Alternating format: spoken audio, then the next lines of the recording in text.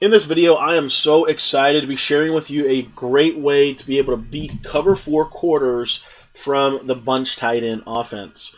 What's up, guys? My name is Cody, and I want to thank you so much for taking the time out of your day to watch this YouTube video.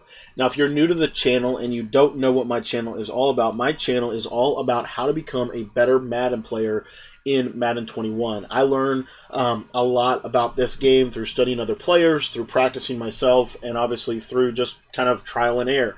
And what I like to do on YouTube is kind of share some of the things that I'm learning with you. I'm not better than anybody else. I'm just practicing a lot and just wanted to share that with you. So um, if you are interested in subscribing, go ahead and hit the subscribe button. It's completely free. What subscribing does, it just allows you to know whenever we release new videos.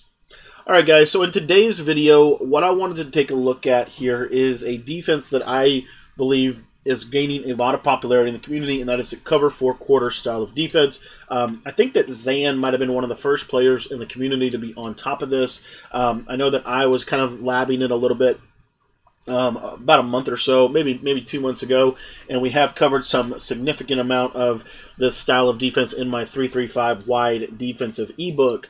But um, 335 has been the meta pretty much all season long. We've been running it since June, and it is the best defense in the game. Now, what a lot of people don't know is from the Cover 4 show, too, that is actually a Cover 4 quarters coverage. So you can basically run match coverage within your 335 wide. You have a Cover 3 match and a Cover 4 match in that in that um, in your arsenal. Now, the play that we're going to be using to attack this from the bunch tight end is the play curl flat corner. Now, if you guys have not already gotten my bunch tight end offensive ebook yet, it is, in my opinion, the best offense in the game. It is the most simple, the most consistent, and honestly, the most effective. And so, if you want to get a full uh, copy of that ebook, it's just 15 bucks. It's in the description um, for you. There's a link that you can click, and it'll take you right to the checkout if you want to get that. I also have a free sample of this full offensive scheme in my text message membership. The text message membership is completely free to you guys.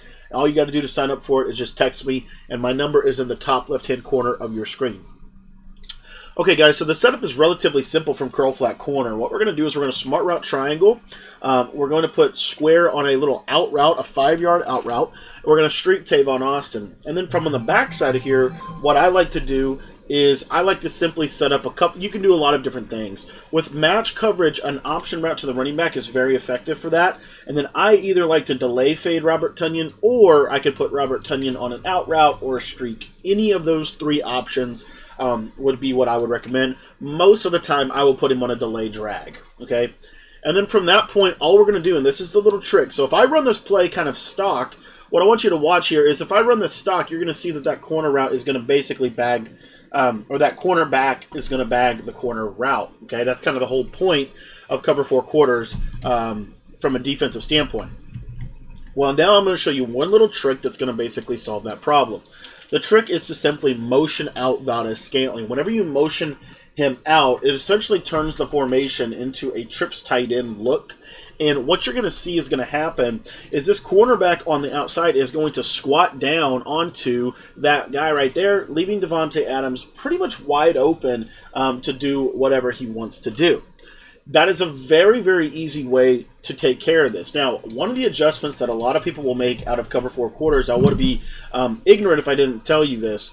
One of the other adjustments that you will see a lot of people make, really quickly, I want to show you one other little piece of this. So, again, if I motion this through and, and, and do all of this, what you're going to see is that safety on the left side should take Davante Adams, and that's going to leave circle up the top for a one play touchdown over the top against cover four quarters, as you can see right there. Completely wide open and very difficult to defend.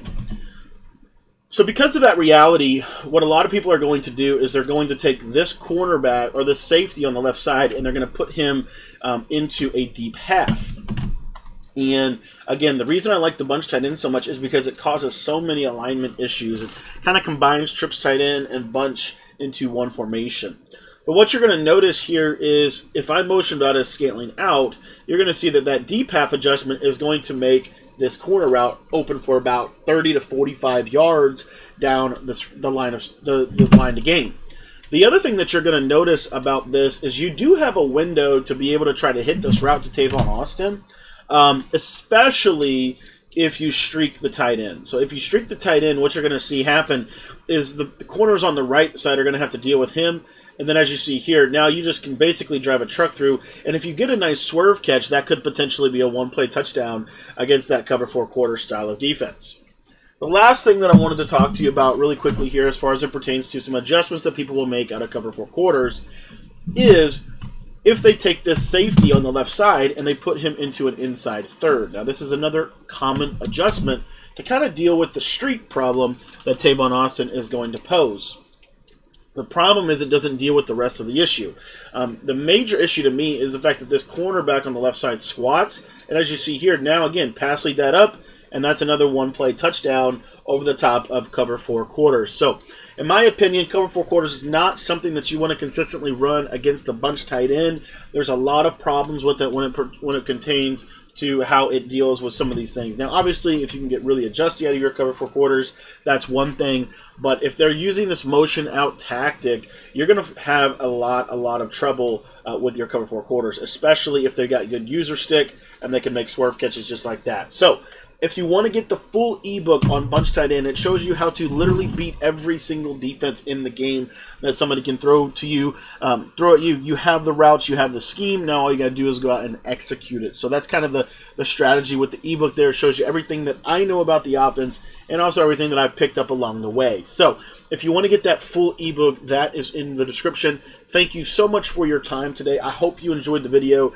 and we will see you on our live stream tonight at 10 o'clock, and you can see me run this against my subscribers and see just how lethal this offense really, really is. Thank you for your time, and if you have any questions about the ebook, feel free to text me, or any questions about Madden in general, you can always hit me up via text. Just a quick reminder, the link to the ebook is available for you in the description.